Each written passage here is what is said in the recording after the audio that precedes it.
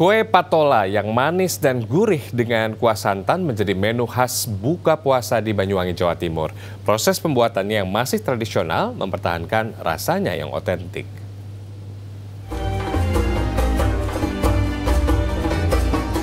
Salah satu menu berbuka favorit di Banyuwangi, Jawa Timur adalah kue tradisional patola.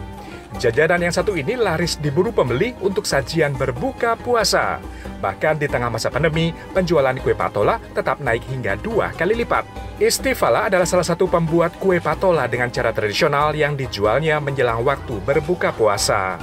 Kue patola dibuat dari tepung beras, pewarna makanan, garam, dan air.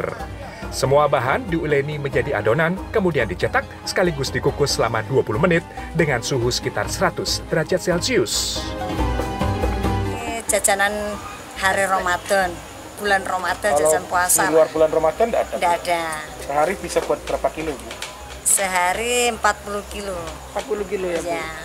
Untuk harga berapa sekarang, Bu? Untuk harga sat, satu itu 6 ribu. 6.000 satu lembar ya, Bu? Satu lembar 6 ribu. Isi? Isi 15 biji.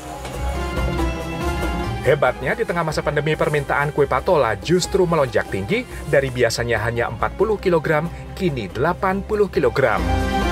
Kalau padula itu biasanya khasnya Ramadan ya Mas ya.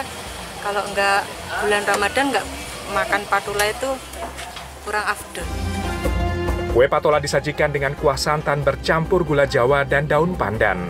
Aroma harum pandan dan rasa manis gurih kuah santannya menjadi ciri khas hidangan yang satu ini. Bagaimana Anda tertarik mencobanya? Cofi Zamani, Banyuwangi, Jawa Timur.